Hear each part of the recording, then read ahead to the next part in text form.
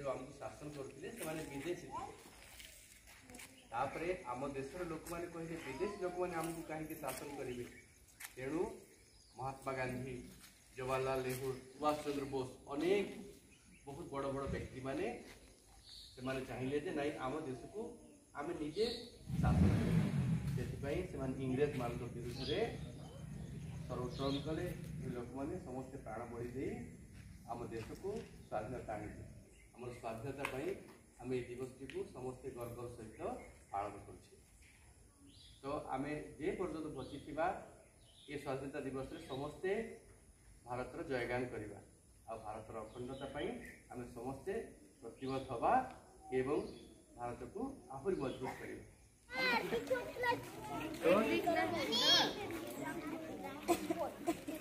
ଅଙ୍ଗନବାଡି ହଁ ଧରିଛନ୍ତି ଚୌକ ଧରିଛନ୍ତି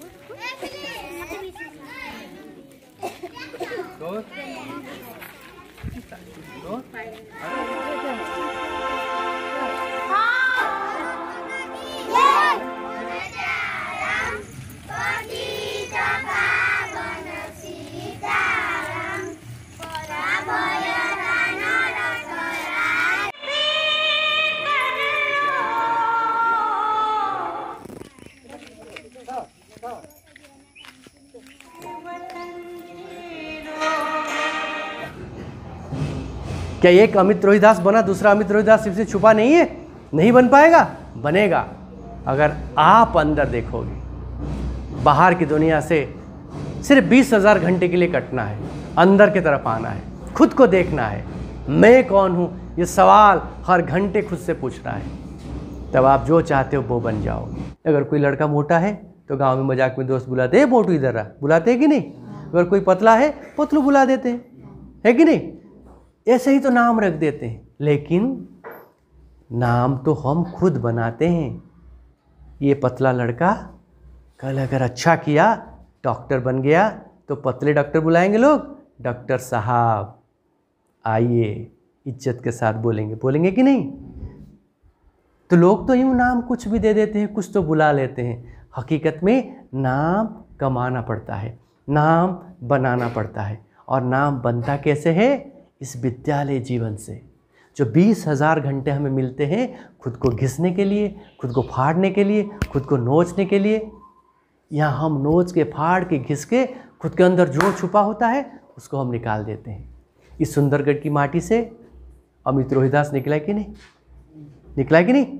आज इंडियन टीम में क्रिकेट खेलता है। कौन सा उसका बहुत बड़ा फैमिली है? कौन सा सोना चांदी से खाता था उसका? परिवार? है ऐसा? उसने अंदर देखा।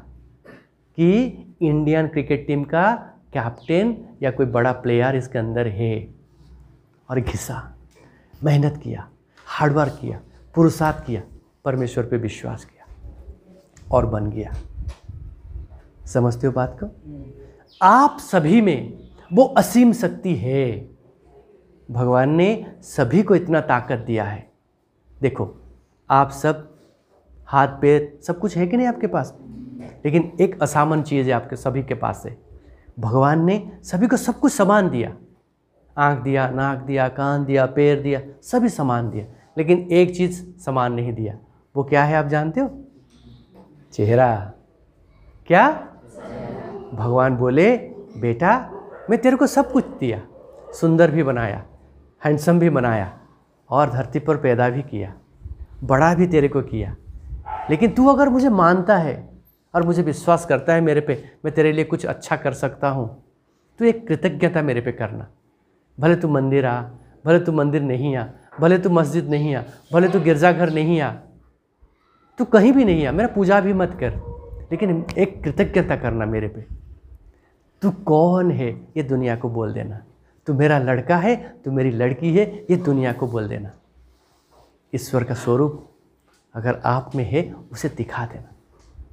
अगर आप मानते हो, आप सभी में ईश्वर है तो आप में ताकत है, असीम शक्ति है। आप वो सब कुछ कर पाओगे जो दूसरा कर लेता है। अगर आप इतना करोगे, मेरी बात मानोगे, खाली अंदर देखोगे, बाहर नहीं। विद्यार्थी का जीवन में अंदर देखना होता है, बाहर नहीं। उसने क्या किया? सिनेमा किया? मेरे को क्या? मैं विद्यार्थी हूँ, मुझे किताब के अंदर देखना है। मैं विद्यार्थी हूँ, मुझे विद्यालय में रहना है।